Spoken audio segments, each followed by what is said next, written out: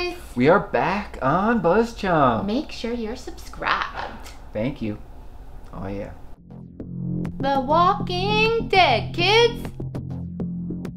Last season, we had done a whole vlog about Jesus and how he's going to save Alexandria and be a link. We're pushing that out there even farther now that Jesus is our link to everything, and Jesus is going to help Alexandria, the hilltop, and the kingdom all come together and battle against Negan. Jesus is our catalyst, our savior, our person for hope who is going to save everyone. Jesus obviously does not have faith in Gregory, the leader of the hilltop. We'll just put it out there that we friggin' hate, hate Gregory. We've said it before, we've read the comic, so we know Gregory's fate, and he sucks. And so far, he sucks in the TV show, and they're totally, totally setting it up that Gregory will not be the leader of the hilltop that much longer. And we love that. We totally agree with that. It's Jesus as the catalyst in the comics who pushes the hilltop to actually fight against Negan, to actually turn their fear into a strength. And that's really what we see him doing here in the TV show, too. Jesus has hope and faith in Maggie, and we friggin' love this.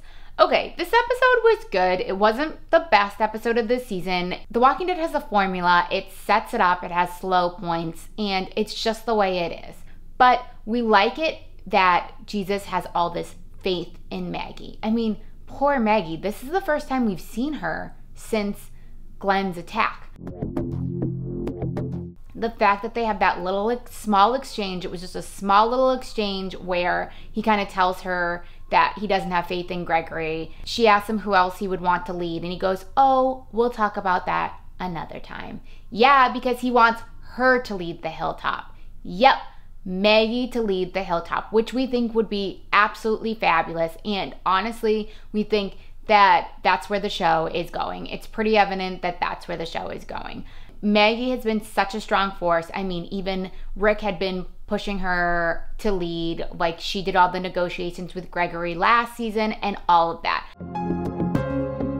So back to the point that Jesus knows everybody. Gregory already says it that, oh, what? Jesus, you want to lead? Oh, you'll have to be here more than like a minute and not go off and run around all over the place. Well, Jesus is an explorer. He's out there. He knows his way around this world. He knows everything that's out there. So, even though we haven't seen him interact with the kingdom yet.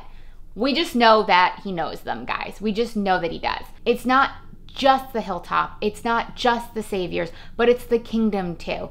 And we know that Jesus knows that they have problems with Negan too, that it's not just them, and that the kingdom has a lot of men. They have a lot of people. Before all groups coming together, you need a catalyst, you need a savior, you need someone that's bringing hope. And that is definitely, definitely Jesus. That's what this slow showing everyone is doing. That's what The Walking Dead is doing. They're setting it up. They're dropping hints, they're dropping pieces, they're showing you Jesus, and they're showing you that Jesus really has a hand in everyone.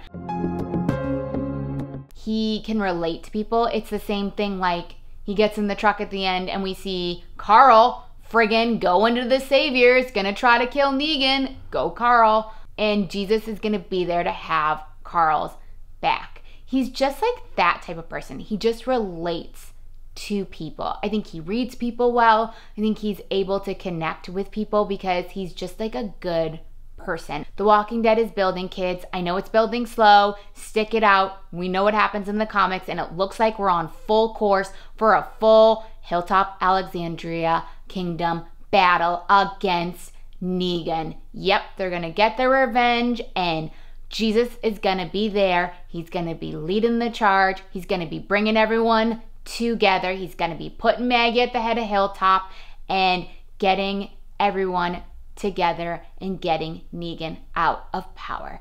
Yeah, kids? Yeah. Comment below. Let me know what you think about Jesus and having hope and being our little savior against Negan. Yeah, kids, yeah.